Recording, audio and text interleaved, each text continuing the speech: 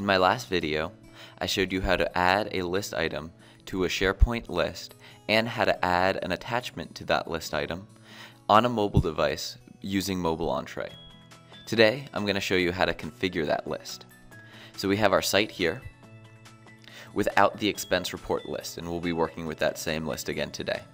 So what we do is we go to our SharePoint site, we click on Mobile Entree 365, and this will open up our configuration panel for Mobile Entree. We click on SharePoint Content, and as you can see, the expense report list is not checked. So all we have to do is check the box and hit Save. And from here, we'll go to our mobile device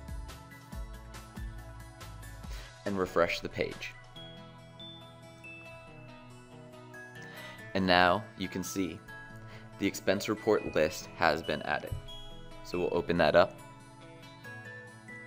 And it hasn't been configured at all, so we want that notification that lets us know if there's an attachment on the list. So what we'll do is we'll go into the configuration of the list, right here, and go to the advanced configuration. Now this index view is going to be what you see when you open the list. The detail view is what you see when you open a list item in the list. So what we want to edit is the index view. And earlier I did some edits to this. I just copied it out and put in what we wanted to and I'll show you what that is. What I added is this if statement here that says if there's no attachments, we want a caption saying in red that the receipt attachment is missing. And by adding that small little if statement, we are going to have a new caption on our list that will let us know if we have a receipt or if we don't have a receipt with our expense report. So I'm going to hit save in this configuration, hit OK, hit save on the whole page again, and we'll bring up the mobile device.